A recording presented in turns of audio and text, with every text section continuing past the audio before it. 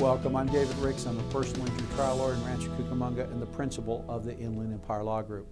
One of the types of accidents we handle here at the Inland Empire Law Group is motorcycle accidents.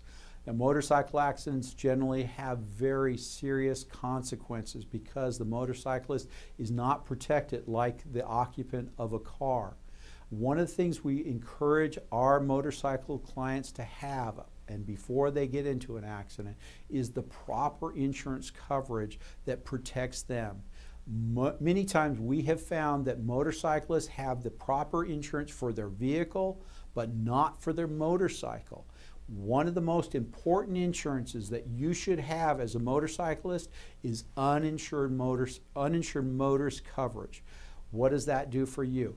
If you are hurt by somebody else and you're seriously injured, and that other person either doesn't have insurance or doesn't have enough insurance to cover your losses, you want to be able to turn to your own insurance company to help you pay for the losses that you've suffered as a result of the accident.